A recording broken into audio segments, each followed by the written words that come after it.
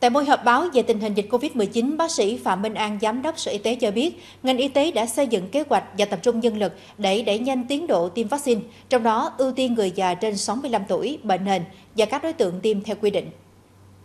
Hiện Sở Y tế tỉnh Bà Rịa Vũng Tàu đã nhận được phân bổ 79.650 liều vaccine các loại AstraZeneca, Moderna và Pfizer.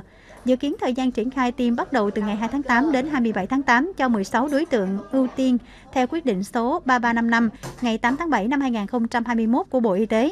Trong đợt này, ngành y tế cũng tổ chức tiêm cho đối tượng người có bệnh mãn tính, người 65 tuổi trở lên. Hiện nay, năng lực tiêm của Bà Rịa Vũng Tàu đạt khoảng 30.000 người một ngày. Để đảm bảo tiến độ tiêm chủng, ngoài lực lượng y tế nhà nước, ngành y tế đã huy động lực lượng nhân lực các cơ sở tiêm chủng tư nhân đã công bố đủ điều kiện tiêm chủng. Bộ Chỉ huy quân sự tỉnh Bà Rịa Vũng Tàu phối hợp với Trung tâm Kiểm soát Bệnh tật tỉnh tổ chức tiêm vaccine phòng COVID-19 mũi 1, mũi 2 cho gần 700 cán bộ chiến sĩ lực lượng vũ trang vào sáng nay 2 tháng 8.